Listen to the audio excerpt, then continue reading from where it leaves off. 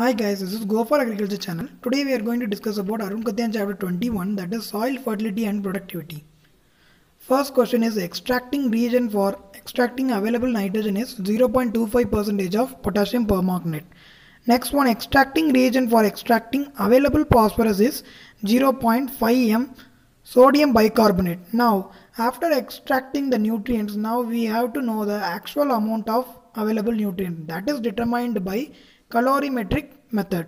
Now on the basis of these three analyses we will get soil fertility that is classified into three groups that is low, medium, high. For example for nitrogen lower status of nitrogen is less than 250 kg per hectare. For phosphorus less than 20 kg per hectare and for potassium less than 125 kg per hectare.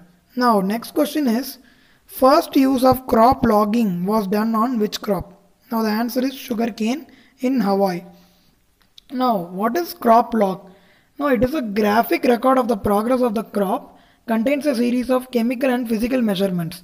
These measurements generally indicate the general condition of the plant and suggest the changes. Now what is soil fertility? The inherent capacity of soil to supply nutrient to plants is called soil fertility. Now soil fertility, it, is an index of available nutrient to plants. Now what is soil productivity? It is the capacity of soil to produce crops with specific system of management. It is called soil productivity. It is a broader term used to indicate crop yield. Now what is the process called rabbing? So rabbing it is a process. It means the heat treatment that is applied to soil by burning refuse that is refuse burning placed over it. So that is called rabbing. Now next question is in reduced zone which fertilizer is to be applied. So reduced zone means the zone that which uh, nitrate is very less in that we have to apply only ammonical fertilizers. Next one in oxidized zone which fertilizer should be applied. Now uh, place that is full of oxidized zone in which the fertilizer should be applied is nitrate fertilizers. Now what is mean by marling? So mar means raw humus.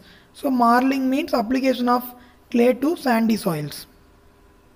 Now next question.